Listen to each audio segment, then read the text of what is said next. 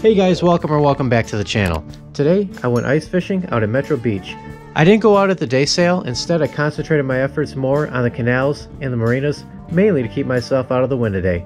I caught a ton of fish out there, and while most of them were pretty small, I'm finally starting to see some bigger fish in that area. Some keepers and borderline keepers are definitely out there right now.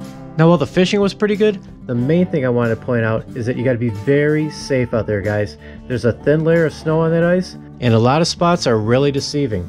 I was fishing where the blue spot is on the map and in that area it's about 8 to 9 inches of ice.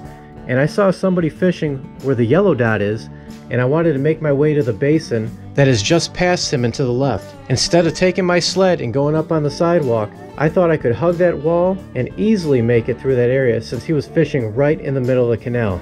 Luckily I had my spud with me because at one point I took a stab at that ice and my spud went right through. It was only about an inch and a half to two inches of ice in that spot and if I didn't have my spud with me there's a good chance I could have went through. So it's just a reminder that just because you see somebody out in a certain spot it does not mean you can safely get to that spot just because they're out there. I had a lot of issues with my camera today.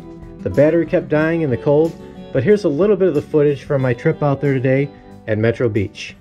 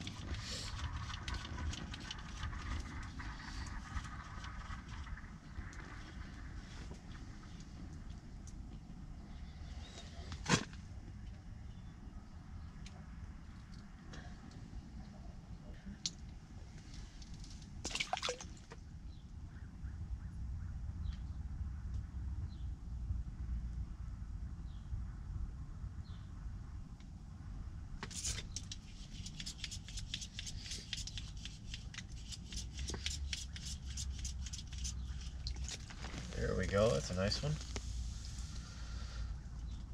Finally, keeper.